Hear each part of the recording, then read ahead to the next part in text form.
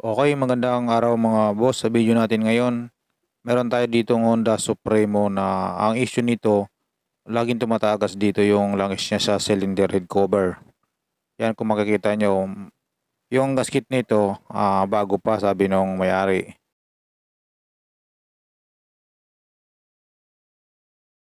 Ang issue kasi, itong tornilyuan, dalawa lang.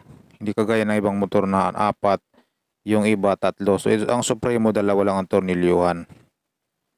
Ang kadalasan nagiging problema nito, uh, nalulustred itong dalawang tornilyuhan. Kahit isa sa, kahit alin sa dalawa dito ang malustred, paniguradong tatagas yan kasi uh, sisikad yan. Kumbaga aangat yung uh, tornilyuhan, hindi siya gano'ng nahihigpitan. Yun lang naman ang pinanggagalingan nito, kaya nagkakaroon na ng tagas o kaya local yung gasket isa rin sa pinagmumulan yan. Pag may ng klase yung gasket hindi siya tumatagal sa init.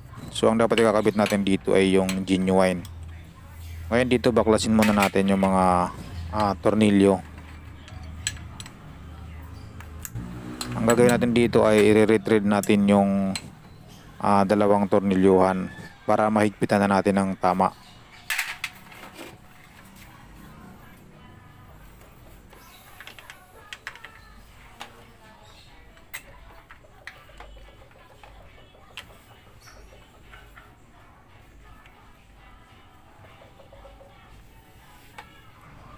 dito tingnan natin subukan natin higpitan no? Ayan so ito pahigpit yan. Mapapansin nyo malambot pa rin siya. Hindi siya ganong uh, humihigpit. Dahil nga yung kabitan dun sa baba eh lost thread na. Yun po ang problema niya. Kaya tatagas talaga yung ating langis. Okay ngayon tanggalin naman natin. Eh paluwag na natin. Para ma-retrieve na natin.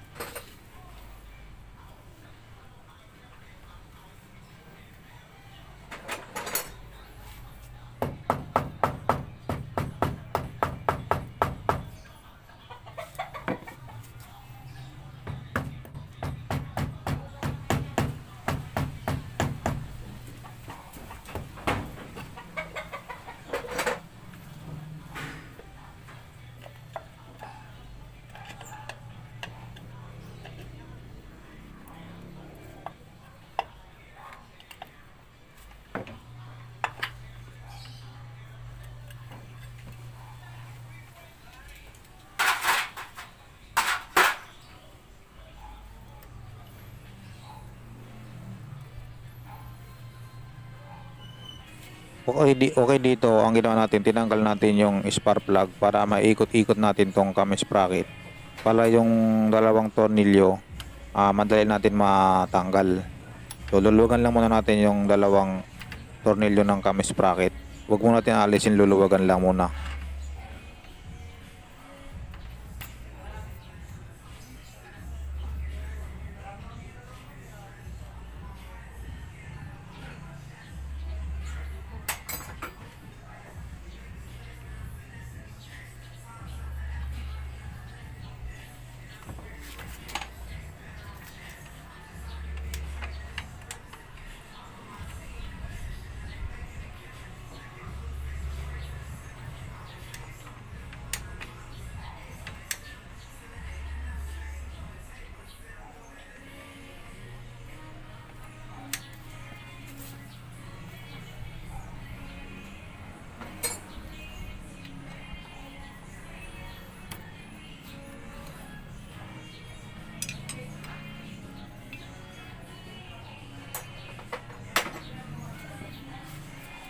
Ngayon nalugan ko na yung dalawang tornilyo. Ita-top dead center ko lang siya.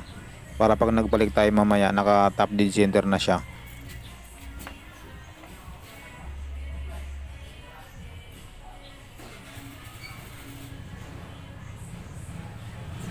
So, bali nakaposition siya ng top dead center pero hindi ko na rin tatanggalin yung cam sprocket sa timing chain para hindi na siya magbago ng timing. Wala na tayong ita-timing mamaya pag nagbalik tayo. Kasi kung matatanggal yung cam sprocket sa timing chain, maobliga pa tayong magtanggal sa ah, window sa timing hole para makita natin yung markings. Pero pag ganito hindi na natin aalisin yung uh, cam sprocket sa timing chain, So hindi na po siya kailangan i uh, ilagay sa timing pa kasi nasa timing naman na yan. Hindi naman magagalaw yung cam sprocket. Pero naka TDC pa rin ito ngayon.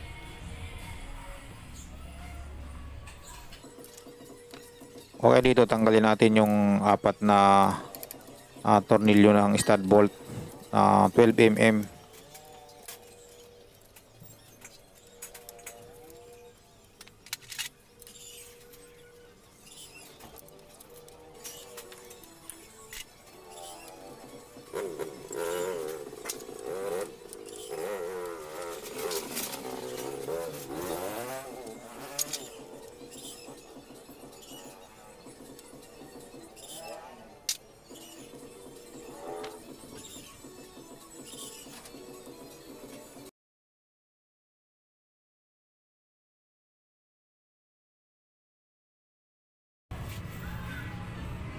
Okay, ngayon natanggalan natin yung rocker arm holder. Ito na bali ang dito kasi nakatornilyo yung ating si head cover. Dito siya nakatornilyo. Diyan yung naging loose thread dyan.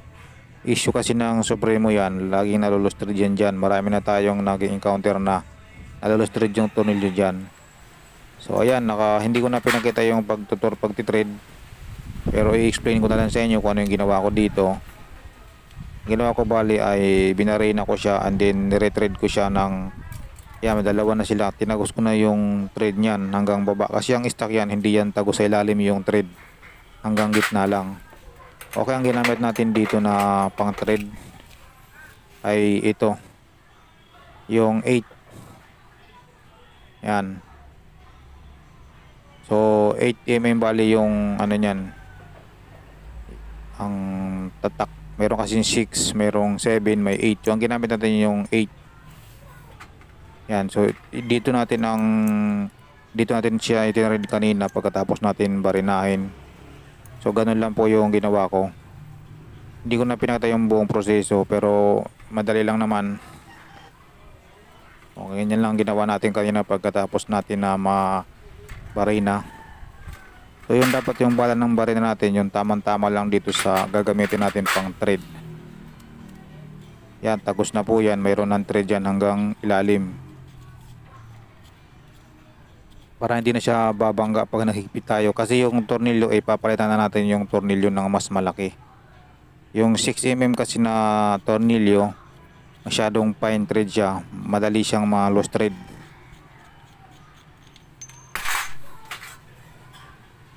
So ito na yung gagamitin natin na pang thread, pang tornilyo dito. Lalagyan lang natin ng washer sa ibabaw. Pero yung pinaka oil seal doon, hindi natin aalisin. Ayan, so tagos na po yan.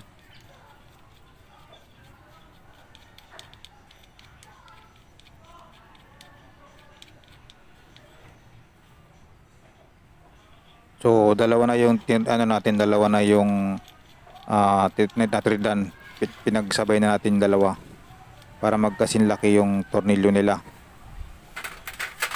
Para mayroon kayong idea kung gaano ito kalaki yung tornilyo natin. Ganito siya kalaki mga zero.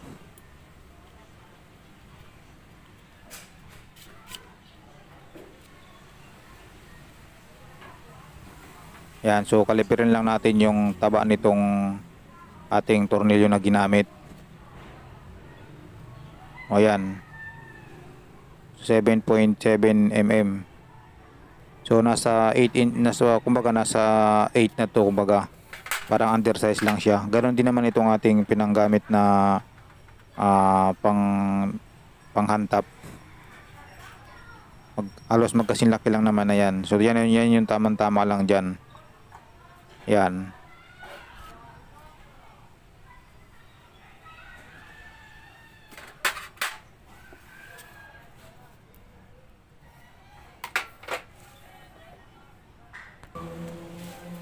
Okay, ngayon ibalik na natin. Itong gasket, ito pa rin yung ginamit natin kasi bago naman ito at saka genuine naman tong gasket na kinabit. So di na muna tayo nagpalit kasi halos ilang linggo pa lang to. Na sayang naman, pwede pa naman ito. Genuine din yung nakalagay dyan.